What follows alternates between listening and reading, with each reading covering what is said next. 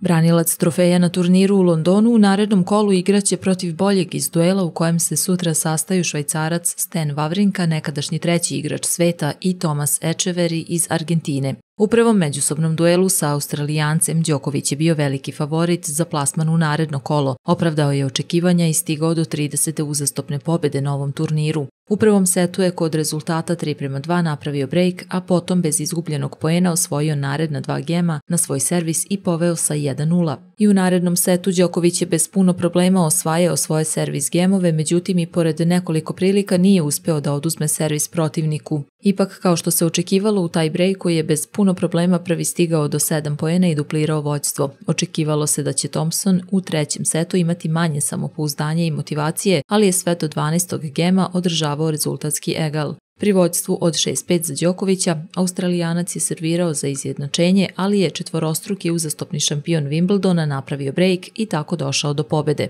U svom pohodu na istoriju tenisa Đoković je protiv Australijanca stigao do jubilarnog 350. triumfa na Grand Slamovima i sada su od njega u ovoj kategoriji uspešniji samo Roger Federer sa 369 i Serena Williams sa 365 pobeda.